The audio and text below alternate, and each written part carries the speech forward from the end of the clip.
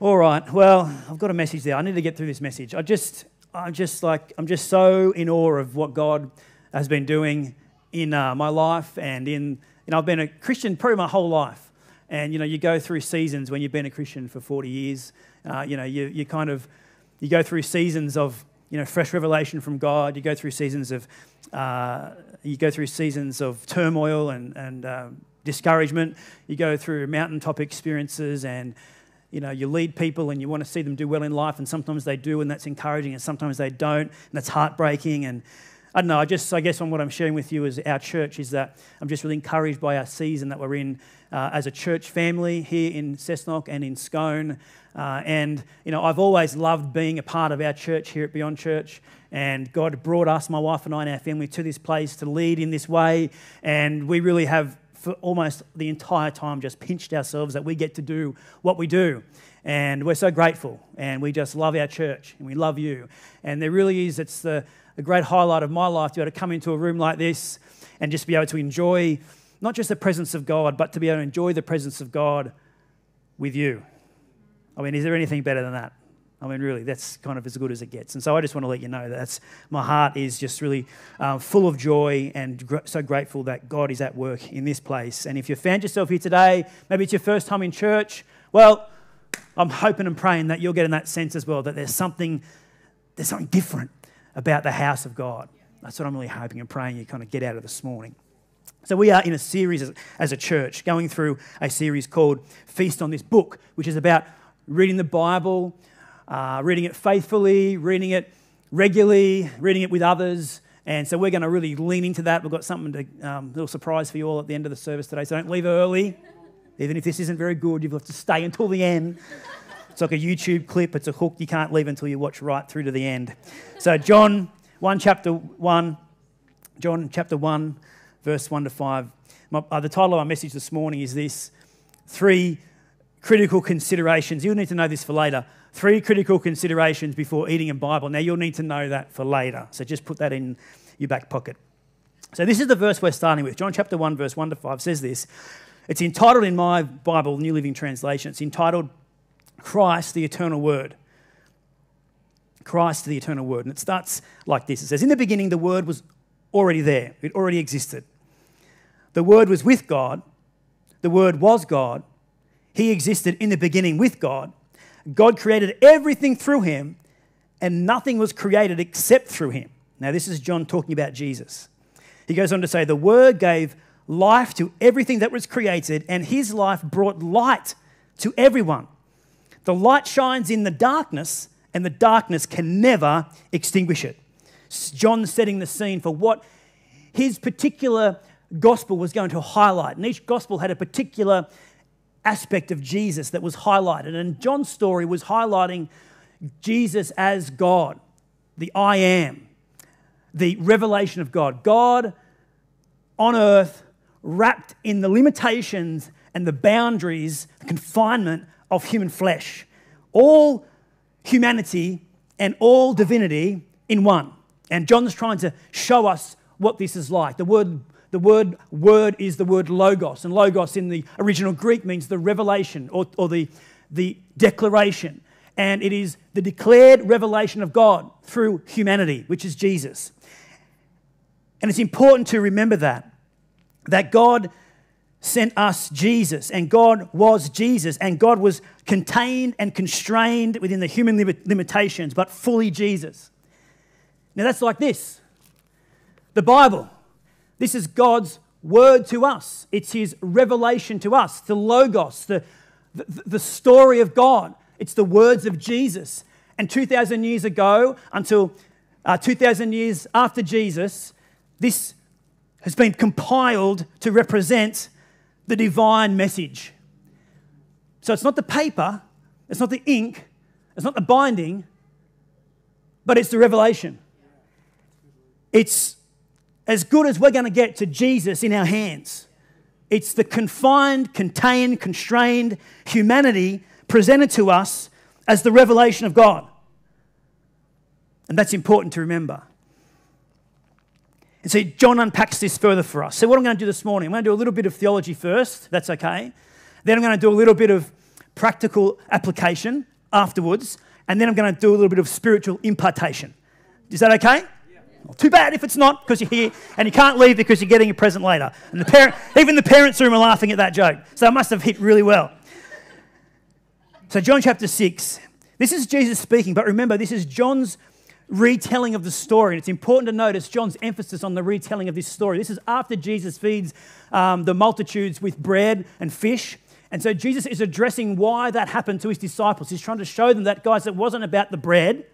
It was about something more than that, but I'm going to show you how I'm going to use the bread to show you what matters most. So it's not about your tummy, it's about something else. And here he goes, says John chapter 6, because guys, I mean, 12 disciples, they would have been mostly complaining about being hungry. I mean, I'm, I'm always pretty much full all the time, but I still complain about being hungry. And so here we go, John chapter 6, he says, Jesus replied, I am the bread of life. I am the bread of life. Whoever comes to me will never be hungry again.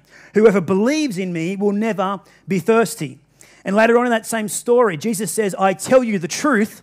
Anyone who believes has eternal life. Yes, I am the bread of life. Yes, I am the bread of life. Can you see the pattern that's emerging about the bread of life, about the Logos, about the Word of God being something that can sustain people and fill people and satisfy people? They can eat it and consume it and be satisfied. In verse 51 of that same chapter, it concludes like this Jesus speaking again. He says, I am the living bread that came down from heaven.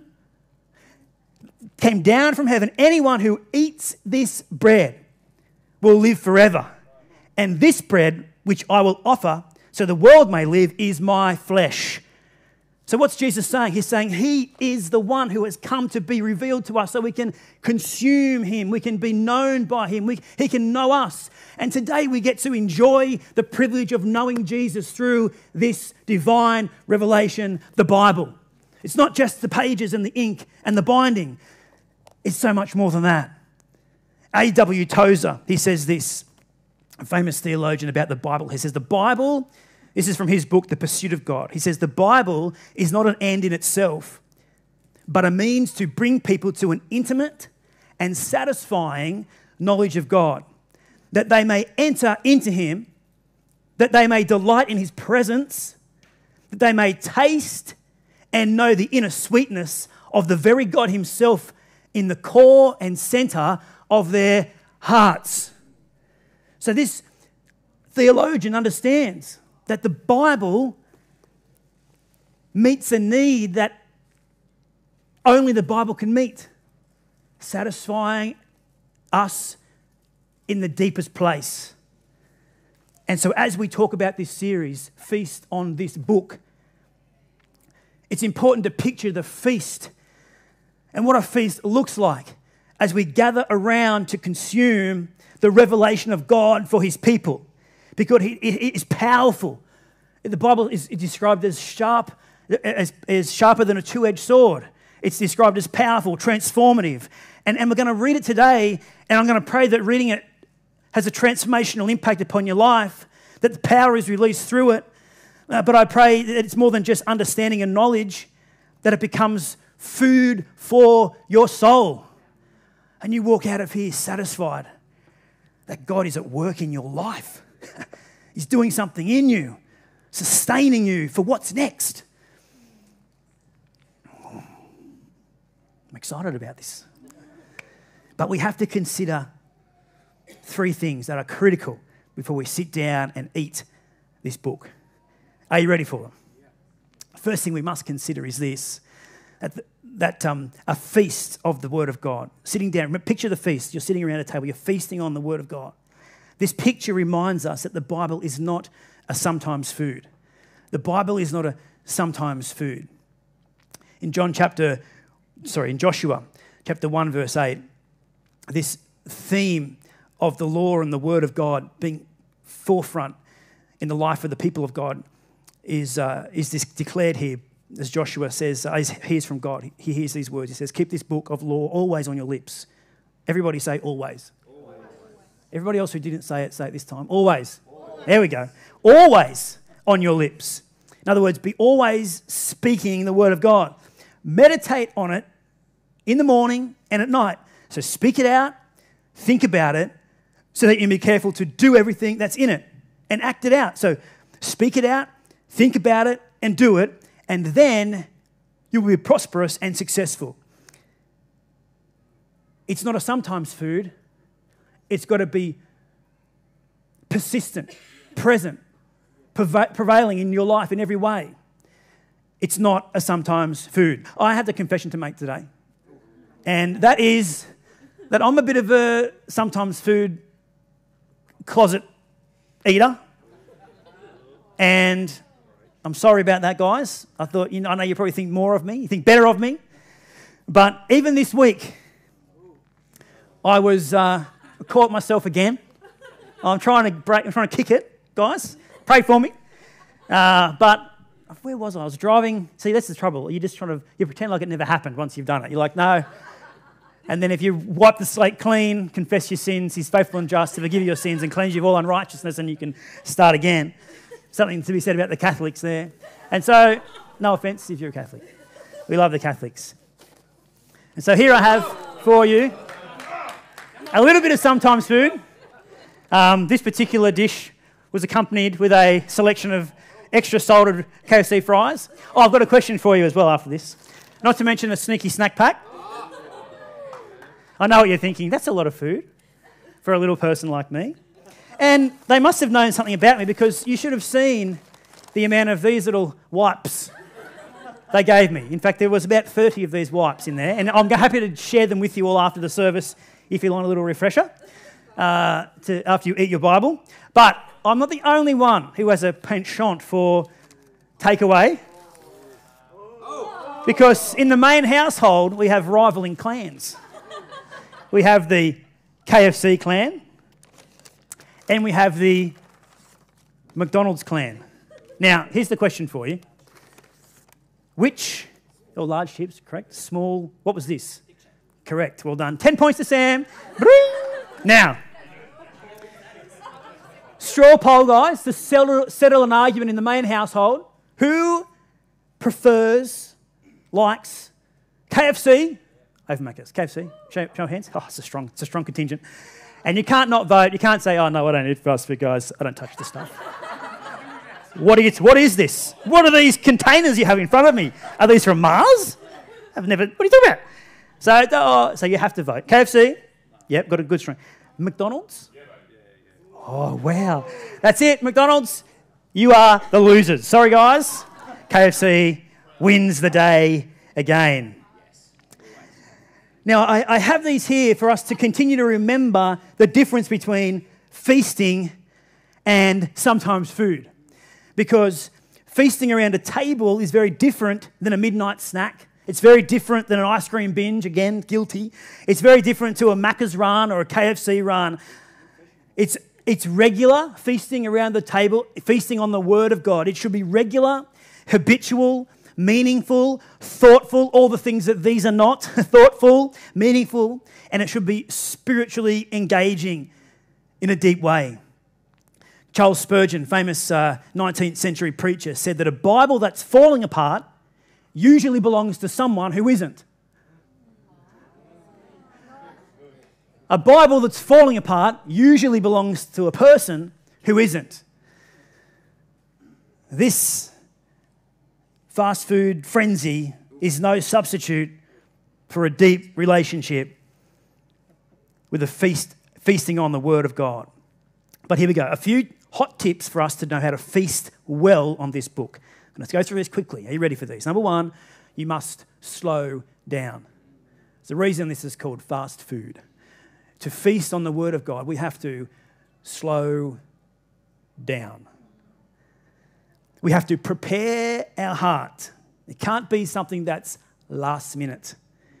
Stir up a hunger, stir up an appetite, build anticipation as you begin to feast on this book. Come to the Bible with an open mind. Come on, who knows what God might want to say to me today?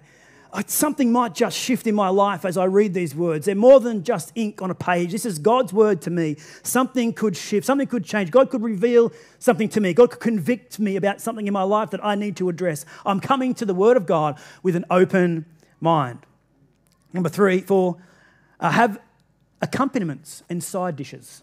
Now, when I say accompaniments and side dishes, with a feast, we know we go to a feast, there's gravy and there's potato and there's baked vegetables, there's boiled vegetables, and there's all the accompaniments and side dishes.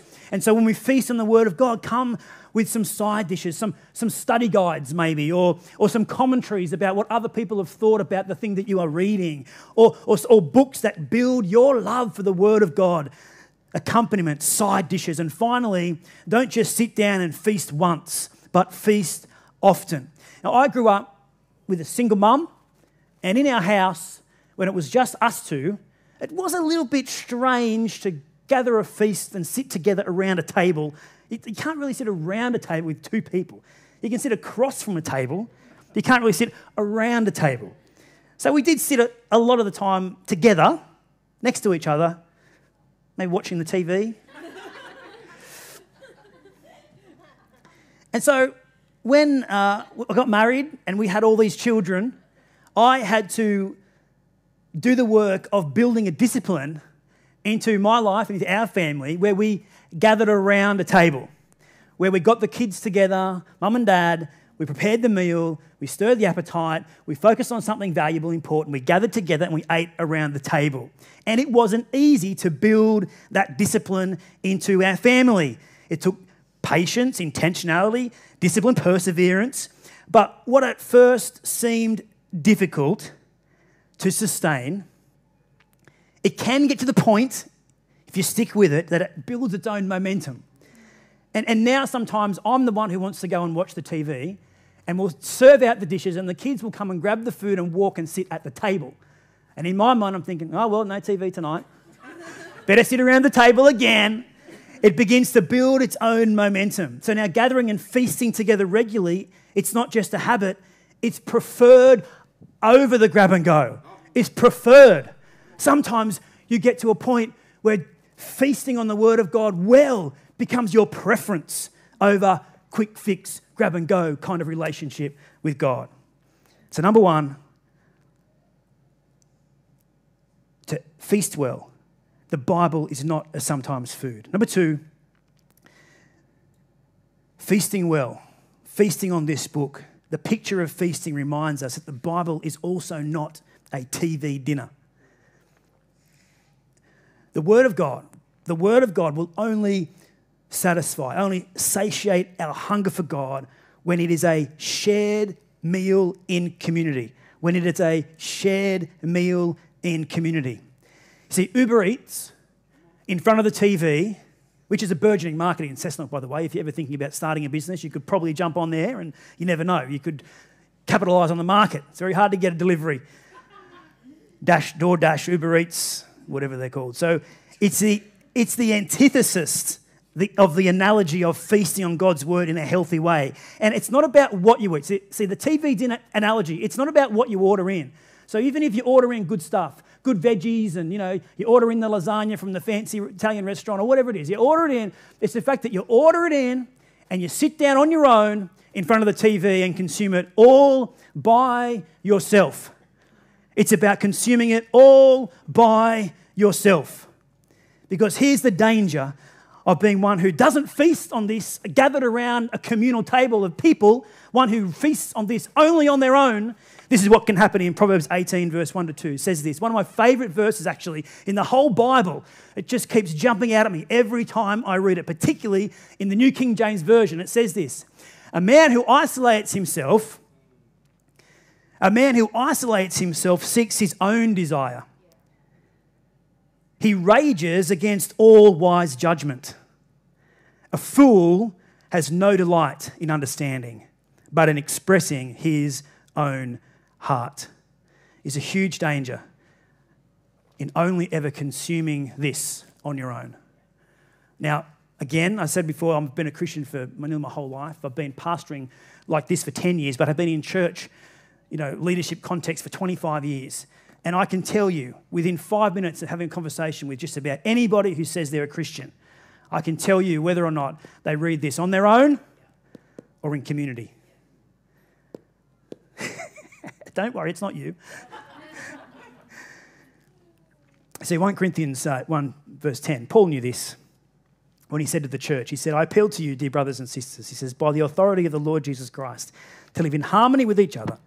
Let there be no divisions in the church, rather be of one mind, united in thought and purpose. In thought and purpose. Now, this isn't that we all should be the same, look the same, wear the same. It's not about uniformity, it's about unity. And we only come together unified in thought and purpose when we are together like this. And so it's so important that when we read this, consume this, study this, feast on this, that we bring what God's put on our heart and our life and revealed to us in our knowledge to each other. And sometimes we get it wrong. And sometimes what we read, we think, oh God, I just, I love what you're saying here about this verse in, you know, 2 Corinthians chapter 7. Finally, we can get all the women to sit on the left and all the men on the right. That's exactly what I thought you've been saying to me all these years. You come to church, guys, God said we all should split up, men on the left, women on the right. And the rest of the church goes, guys, guys, that's not how we read that, that text. That's not in context. Let's, let's go back together and have a look at what this actually means. Let's be unified in thought and purpose instead of just going off on our own with our own ideas, our own revelations. In fact, when I was at school, high school, uh, I, I don't know why I attracted all these strange people. And even the teachers would come up to me, strange teachers. And I was in year 11, I think, 1997, 98, maybe 98, maybe, maybe year 12. And this particular teacher came up to me and uh, I mean, I was a strong Christian at the time. I was a school captain, and you know, I was obviously kind of a little bit unusually out there about my faith. And he's come to me, and he had this. He said, "Oh, Luke, have you heard? You know, what's going to happen in you know 2000, like in a couple of years' time?" I was like, "Oh, what?" So he gets this paper, and he unfurls this like scroll. Like it wasn't a scroll, but it was uh, a, like a like A4 pages all stuck together with sticky tape. He said, oh, come and have a look at this. And he lays it all out. He goes, like 2,000 years ago, you know, like, you know as, as um, you know, when Jesus came, 2,000 years before that, you know, they put the Torah together and the Pentateuch, and you can look at the dates and they line up here and there, and it comes to here, and it's Jesus was born. It wasn't on zero, it was on the year three. And so as we come forward another 100 years and 500 years, and now that's the year 1999, he had all these pictures, drawings, angels' wings and flames, and he had these chariots and lions' faces and turtles' feet, and he goes, right, he's here, he said, so in next year, Jesus is coming back. It's a teacher at my school. What is that about? Anyway, what am I saying that for? Oh, Uber Eats.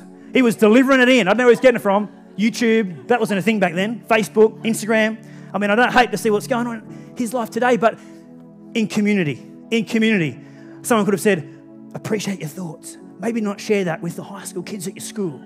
You know, there's some things that you could need, need to work on. Anyway, it's 2024. We're still here. But 2025, I have actually heard on YouTube. just joking. Come on, team, come up, come up. So we're going to wrap it up with this final thought. Number one, feasting around the table. Yeah, nothing in there, mate. It's all good. You can have a you can have a wipe though. I've got about a, I've got 500 of these. Feasting around the table reminds us that the Bible isn't a sometimes food. It can't be a TV dinner. And finally, it reminds us that we are what we eat. The Bible has the potential, as I've already said, to change us deeply, to change us from the inside out if we let it. If we let it. And that's, that's really the crux right there, if we let it. Because the Word of God, because it's so powerful, because it has so much potential to change lives, if we're honest, we can sometimes be a little too careful with how much of our lives we're willing to have exposed to the power that's contained within these words. I've heard it said that when we feast on the Word of God well, we find that we aren't really reading the Bible, but it's reading us. That, that Jesus is studying us, that Jesus is, is coming alive in us and through the power of the Holy Spirit, changing us, challenging us, convicting us, and dealing with our stuff that needs to be dealt with. And in Hebrews chapter 1, verse 12, the, the author of this text knew this well. He said, For we have the living word of God, which is full of energy. Like a two mouthed sword, it will even penetrate to the very core of our being, where soul and spirit, bone and marrow meet. It interprets and reveals. This is, this is the challenge. Yeah, hold on to your seats for this one it interprets, yes, and reveals ooh, the true thoughts and secret motives of our hearts. Now, come on, who wants our secrets to be laid bare? I'm not sure I'm ready for that. but, but, but, but, but, but be willing to open, it, open your heart up to the Word of God and, and letting the Spirit of God deal with your stuff, exposing the things in you that aren't of God will totally, totally transform you, your life, your family, your friendships, your workplace, your business. In James chapter 1, verse 22, very familiar verse about what it is to read and ignore what the Bible's saying to us. It says, Don't fool yourself into thinking that you are a listener when you are anything but, letting the word, the Logos, go in one ear and out the other. What does he say? He says, Act on what you hear. those who hear and don't act are like those who glance in a mirror and walk away. Two minutes later, have no idea who they are and what they look like. My heart is that you would discover who you really are through the eyes of God as you read this word. That you'd be okay with staring yourself in the face, looking, staring your fears down, you know, turning around and staring down the bear that's chasing you down and say, I'm ready to embrace the challenge that's coming my way as I read this over this next season because we're going to do it together, church. We're going to spend some time in the Word of God. And it's not just about knowing more, it's about being transformed by the power of God that's alive here in this text. And so today we can begin this transformation by inviting the Word, the Logos, Jesus into our lives, either for the first time or for the first time in a long time. And, and just begin to be stirred, have an appetite for the things of God stirring you again. So why don't you close your eyes and bow your heads as I put away these moist towelettes and we begin to just seek God for what He wants to do with us in this moment.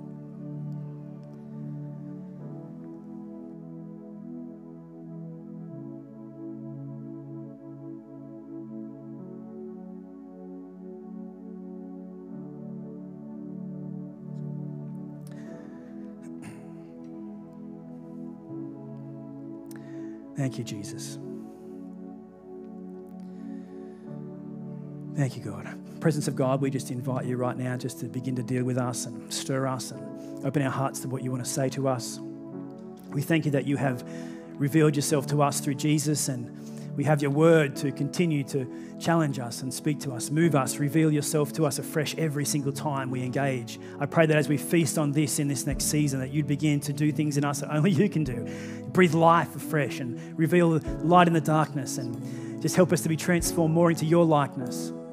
If you're in the room this morning and you want to say yes to Jesus, you want to invite the life of Jesus into your life, if you want to have new life in Him, if you want to be restored, if you want to find redemption, then this is your moment. With every head is bowed, every eye is closed. Why don't you be a bold, um, take a bold step, raise your hand and say, Luke, it's me. I want to be included in this decision moment of saying yes to Jesus for the first time. Be bold, be brave, say, Luke, include me in this prayer as we embark upon this journey of feasting on the Word of God. Our first step is to invite Jesus, the living Word, into our life today. Thank you, Jesus. Thank you, God, for what you're doing. For those of us who have a relationship with Jesus, I, I really do pray that this season of, of embarking upon feasting on the Word of God would really stir us up. And I just want to pray over us right now to set us up for this, uh, for these next few weeks together. Lord God, I just thank you for what you're doing in this moment. Lord God, I thank you for the revelation that you've given us through your word. I pray today that this would mark a new beginning in how we approach your word and we would get ready for it to change our lives forever. Lord God, I pray for open hearts. In Jesus' name, amen.